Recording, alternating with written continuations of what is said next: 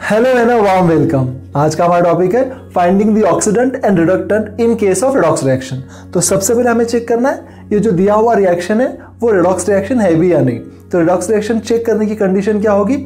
यहाँ पे simultaneously oxidation और रिडक्शन दोनों होना चाहिए। तो यहाँ पे कोई स्पेसिस ऑक्सीडेशन में जाना चाहिए और कोई रिडक्शन में जाना चाहिए। तो ऑक्सीडेशन में जाने की कंडीशन क्या है? अगर किसी भी एलिमेंट का ऑक्सीडेशन नंबर बढ़ जाएगा तो वो प्रोसेस ऑक्सीडेशन कहलाएगा। और अगर किसी भी एलिमेंट का ऑक्सीडेशन नंबर कम हो जाएगा तो वो रिडक्शन कहलाएगा। तो चेक करते हैं सबसे पहले हर एक कंपाउंड में, हर एक इंडिविजुअल आइटम्स के ऑक्सीडेशन नंबर्स सो यहाँ पे हाइड्रोजन का ऑक्सीडेशन नंबर है प्लस वन एल्सेनिक का, नहीं पता। ऑक्सीजन का माइनस टू तो कैलकुलेशन से क्या पता चलेगा? थ्री इंटू यहाँ इस थ्री को छोड़ दीजिए। यहाँ पे जो थ्री है थ्री इंटू वन क्या हो जाएगा? Plus three, minus two into three, minus six. तो यहाँ पे कैलकुलेट करने पे आर्सेनिक का क्या मिला? Plus three. ये कैसे क्या मिल गया? Minus six plus three, minus three होना चाहिए। और जो प्लस थ्री मैं लिख रहा हूँ, वो पूरे के पूरे कंपाउंड के ऊपर कोई चार्ज नहीं है। इसलिए न्यूट्रल स्पेसिस में ऑक्सीडेशन नंबर का सम ज़ीरो आना चाहिए इस लॉजिक के हिसाब से। ये थ्री और माइनस सिक्स माइनस थ्री बन गया। बैलेंस करने के लिए मैंने प्लस थ्री लिख दिया। तो आर्सेनिक का ऑक्सीडेशन नंबर क्या हो गया? प्लस थ्री यहाँ पे आइए। ब्रोमीन का सपोज़ नहीं पता और ऑक्सीजन का माइनस टू।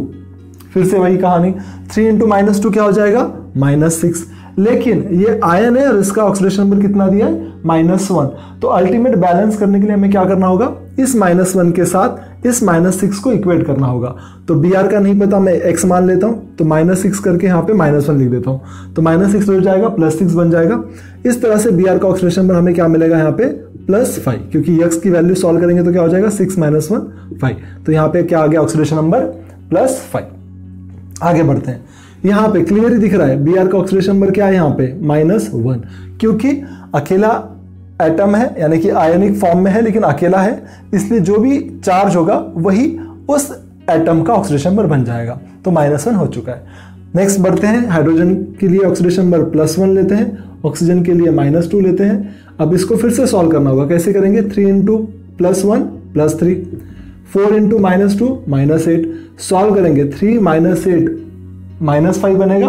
बैलेंसिंग के लिए हमें करना होगा प्लस फाइव। तो आर्सेनिक का ऑक्सीडेशन नंबर क्या आ गया यहाँ पे, plus five.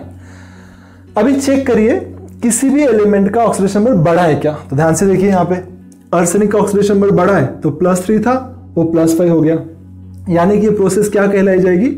Oxidation increase in oxidation number is nothing but oxidation और जो प्लस फाइव ऑक्सीडेशन नंबर था ब्रोमीन का, अब वो यहाँ पे माइनस वन हो चुका है। यानी कि ये क्या हो गया? डिक्रीज प्लस फाइव था माइनस वन हो गया। यानी कि अगर किसी बिज़नेस में फाइव लाख की इन्वेस्टमेंट है और एक लाख का कर्जा हो गया, ऐसी कहानी यहाँ पे तो यहाँ पे माइनस सिक्स का डिफरेंस है। यानी कि सिक्स का लॉस हो चुका है, इसलिए ये बी के साथ जो हो रहा है, उसको हम क्या कहेंगे?